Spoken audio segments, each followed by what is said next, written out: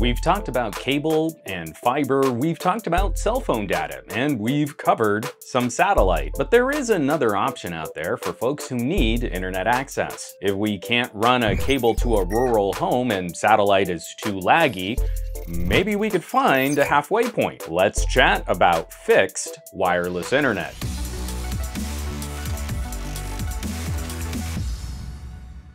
If your wireless connection is fixed for your home or mobile from your phone, you'll still want to keep up with all the work here on reviews.org. So click all those subscribe options down below. I think a lot of folks are familiar with using their phones to access the internet. That's pretty common these days. You drive around town, your phone sees a tower and data can be sent back and forth. Fixed wireless internet is a little different though. A wireless internet service provider solution isn't quite the same as just throwing your phone into hotspot mode. From here on, wireless internet service provider, we're just gonna say WISP. A WISP installs a receiver on your home and that constantly points to a transmitter on a tower, which then carries your data off to the World Wide Web. And we're not talking about a huge antenna, likely something even smaller than a satellite TV dish. This lined up connection, which is fixed, meaning it doesn't move, should be more reliable than the ebb and flow of connectivity your phone might experience as it moves around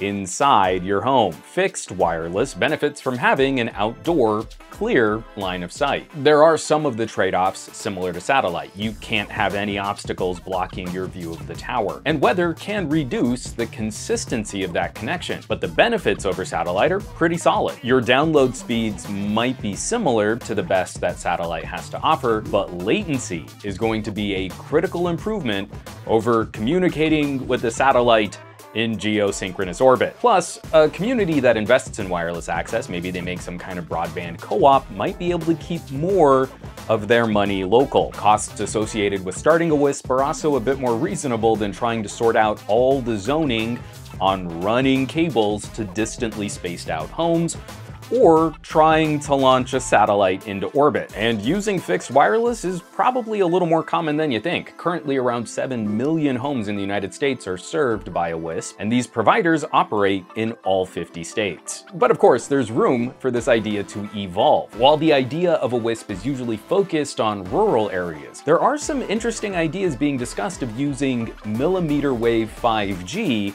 as a solution for urban areas. Instead of trying to string fiber to homes in densely populated areas, millimeter wave antennas and receivers could fulfill broadband to folks in cities. We did a 5G field trip on this channel where I ran some speed tests on Verizon Ultra Wideband 5G, which is just a fancy name for millimeter wave, and the speeds I got on my Sony Pro were way faster than anything I can pay for from my cable provider in my neighborhood. So what do you find folks have to say in the comments? Do you or any family members currently use a fixed wireless solution? Are any of your communities looking to invest in a wireless option? Let's chat underneath this video. And keep an eye out on this channel and the reviews.org social media. We just wrapped up a major contest.